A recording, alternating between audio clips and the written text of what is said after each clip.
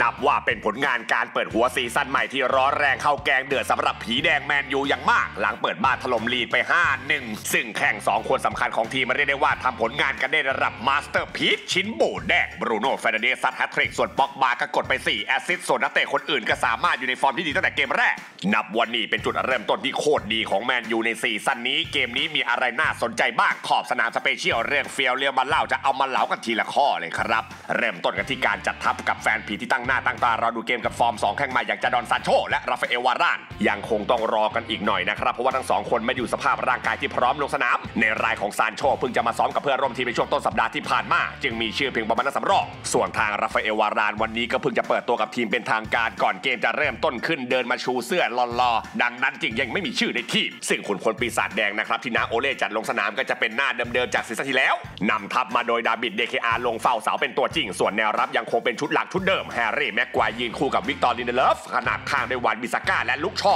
ถัดมาที่คู่กลางรับยังคงใช้เฟร็ดและแม็กโทมินีเป็นพึ่งงานโดยมีบรูโน่เฟรนันเดสเป็น playmaker คอยปั้นเกม ส่วน 3 แนวรุกคุณน้าโอเล่นะครับเลือกจะใช้ป็อกบายืนฝั่งซ้าย ฝั่งขวาเป็นแดเนียลเจมส์และกองหน้าเป็นเมสันกรีนวูดทางด้านผู้มาเยือนอย่างลีดส์ 11 ตัวจริงยังคงเป็นตัวหลักจากเมื่อ season ที่แล้ว ตัวเด็ดอย่างราฟินยาแจ็คแฮร์ริสันโรดิโกโมเรโนและแพทริกแบมฟอร์ดต่างลงสนามกันครบครันจะขาดแค่คาลวินฟิลลิปส์ ที่มีชื่อเป็นตัวสำรองกันเท่านั้น เมื่อวานนี้เปิดฉากเริ่มเกมมาก็เป็นแมนยูแหละครับที่ใส่เกียร์หน้าบุกกดดันลีดส์อย่างต่อเนื่อง นาทีที่ 10 ราฟินยาดันส่งบอลคืนหลังพลาดไปจนเข้าทางกรีนวูดแม่งเกือบจะหลุดเดี่ยว ซึ่งก็โชคดีสัสๆที่ปาสกาลสตรัยค์นะครับเข้ามาปั๊มบอลได้ทันทว่าบอลเจ้ากรรมดันลอยโด่งข้ามหัวอิลลองเมลิเย่เกือบจะเข้าประตูอย่างดีที่เจ้าตัวกระโดดปัดปลายนิ้วออกไปได้ และอีกไม่กี่นาทีให้หลังนะครับผมป็อกบาก็มีโอกาสหลุดเข้าไปในกรอบเขตโทษ และพี่แกก็ดันไปยิงยิงยักสับขาหลอกเมลิเย่ไปหนึ่งทีก่อนจะยิงเข้าด้วยซ้ายหลุดกรอบออกไป รูปเกมในช่วง 20 นาทีแรกนะครับก็เป็นทัพปีศาจแดงที่ครอบครองเกมบุกกดดันได้ตลอด แต่ยังขาดความแม่นยำในการเข้าทำพื้นที่สุดท้าย ส่วนทางลีดส์นะครับ แม้จะมีโอกาสในสวนกลับบ้าง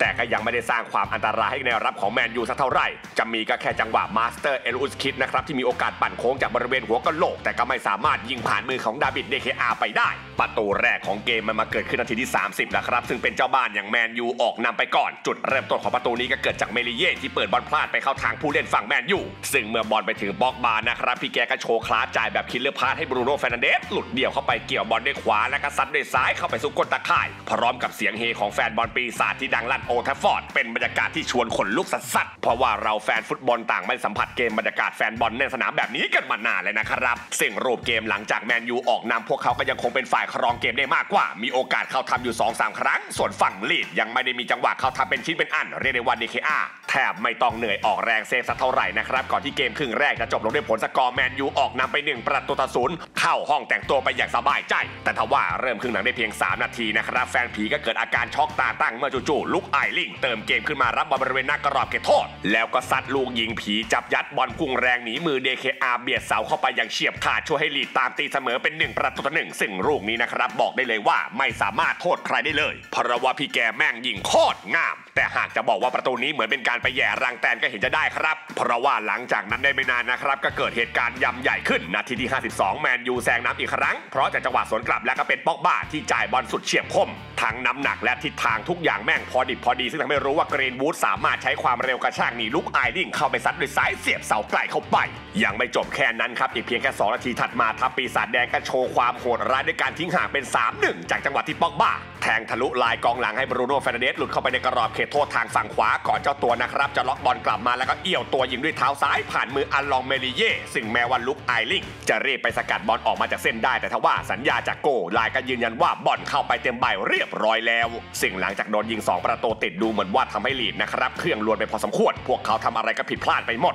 เสียบอลในแดนกลางก็ง่าย ส่งผลให้แมนยูเป็นฝ่ายที่เอาบอลกลับมาครองได้ตลอด และก็ทำเกมบุกกดดันได้อย่างต่อเนื่อง นาทีที่ 60 ครับลินเดเลฟวางบอลยาวจากบริเวณครึ่งสนามให้บรูโน่หลุดกับดักล้ำหน้าเข้าไปดวลเดียวกับอัลลองเมลิเย่ก่อนจะวอลเล่ด้วยขวาแสกหน้าเข้าไปอย่างเฉียบคม ซึ่งก็เป็นแฮตทริกของเจ้าตัวในเกมนี้ แม้ว่าประตูนี้จังหวะวิ่งฉีกแนวรับของบรูโน่จะดูเฉียดที่จะล้ำหน้านะครับแต่ก็ไม่ได้มีสัญญาจาก VAR ว่าจะเป็นการล้ำหน้าแต่ยังได้ แมนยูยังนำห่างไป 4 ประตูต่อหนึ่งสิ่งโศกอัตกรรมของลีดยังไม่จบเท่านี้ครับถัดออกมาเพียง7นาทีแมนยูมาได้ประตูดอกฝาโลงจากจังหวะที่เมสันกรีนวูดผ่านบอลให้บ็อกบ้าบริเวณกรอบเขตโทษฝั่งซ้าย ก่อนเจ้าตัวจะผ่านบอลเข้ามาในกรอบเขตโทษที่มีเฟสวิ่งเติมเข้ามาซัดด้วยซ้ายตุงตาข่ายเป็นภาพที่แฟนผีไม่ได้เห็นกันบ่อยๆ เพราะว่านานทีปีหนที่พี่เฟสจะมีประตูได้ ซึ่งประตูนี้นะครับยังเป็นการทำ assist ครั้งที่ 4 ของป็อกบ้าในเกมนี้อีกด้วย หลังจากนั้นนะครับรูปเกมก็ไม่มีอะไรน่าสนใจไฮไลท์ของเกมจะมีแค่การประเดิมสนามของเจดอนซานโชในสีเสื้อแมนยูที่ถูกส่งลงสนามนาทีที่ 73 ซึ่งก็ต้องบอกตามตรงนะครับว่ายังไม่ได้เห็นฟอร์มของดาวเตะคนนี้สักเท่าไหร่